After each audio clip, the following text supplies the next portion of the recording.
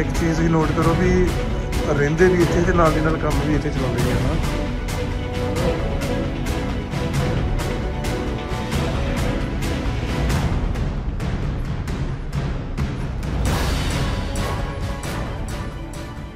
ਸਰਦਾਰ ਸੁਖਵਿੰਦਰ ਸਿੰਘ ਜੋ ਸਾਡੇ ਏਟੀਸੀ ਨੇ ਤੇ ਸ਼੍ਰੀ ਮਨੀਸ਼ ਗੋਇਲ ਜੀ ਈਟੀਓ ਸਾਹਿਬ ਦੇ ਕਹਿਣ ਤੇ ਰੇਡ ਕੀਤਾ ਗਿਆ ਸੀਗਾ ਪਿੰਡ ਭੂਤਨਪੁਰਾ ਵਿਖੇ। ਦੋ ਘਰ ਦੇ ਵਿੱਚ ਰਿਕਵਰੀ ਹੋਈ ਹੈ ਇੱਕ ਪ੍ਰੀਤ ਸਿੰਘ ਸਨ of ਲਾਲਾ ਸਿੰਘ, ਜਿਸ ਦੇ ਘਰੋਂ ਤਕਰੀਬਨ 1700 ਲੀਟਰ ਲਾਨ ਹੈ ਤੇ 250 ਬੋਤਲ ਦੇ ਕਰੀਬ ਸ਼ਰਾਬ ਹੈ ਤੇ ਇੱਕ ਚਾਲੂ ਪੱਠੀ ਵੀ ਮਿਲੀ ਹੈ। ਤੇ ਦੂਸਰਾ ਹੈਗਾ ਬੱਬੂ ਸਿੰਘ ਸਨ of ਅਜੈਬ ਸਿੰਘ, ਜਿਸ ਦੇ ਘਰੋਂ 150 ਲੀਟਰ ਲਾਨ ਦੇ ਮਿਲੀ ਹੈ ਤੇ ਨਾਲ ਪੱਠੀ ਚਾਲੂ ਪੱਠੀ ਦਾ ਸਮਾਨ ਮਿਲਿਆ ਹੈਗਾ ਸਾਨੂੰ ਉਹਨਾਂ ਦੇ ਘਰ ਵਿੱਚੋਂ। ਮਤਲਬ ਕੋਈ ਗ੍ਰਿਫਤਾਰੀ ਵੀ ਹੋਈ ਹੈ? ਹਾਂਜੀ ਬੱਬੂ ਸਿੰਘ ਸਨ of ਅਜੈਬ ਸਿੰਘ ਦੀ ਜੋ ਉਹਨਾਂ ਦੀ ਗ੍ਰਿਫਤਾਰੀ ਹੋਈ ਹੈ ਜੀ।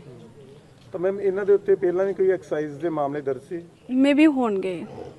ਮੈਂ ਹੋਈ ਹੋਈ ਕੀ ਕੀ ਤਾੜਨਾ ਕਰਨਾ ਚਾਹੁੰਦੇ ਹੋ ਜਿਹੜੇ ਲੋਕ ਨਜਾਇਜ਼ ਸ਼ਰਾਬ ਕੱਢਦੇ ਆ?